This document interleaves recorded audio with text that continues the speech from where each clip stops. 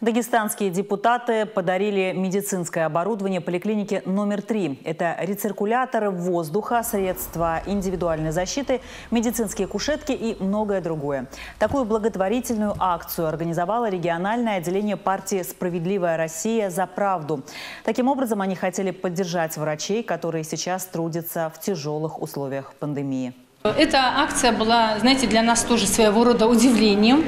Мы очень тронуты и очень благодарны партии «Справедливая Россия» за то внимание, которое они уделили именно нашей работе, работе медиков первичного звена. Необходимый инвентарь, который нужен был для поликлиники на данном этапе, мы постарались э, приобрести и привезти сюда, потому что, как я уже отметил, э, работа первичного звена в системе здравоохранения оно имеет огромное значение, и от того, насколько будет обеспечен наши поликлиники тем, чем необходимо, от этого зависит качество оказываемых услуг и здоровье нашей нации, здоровье наших граждан.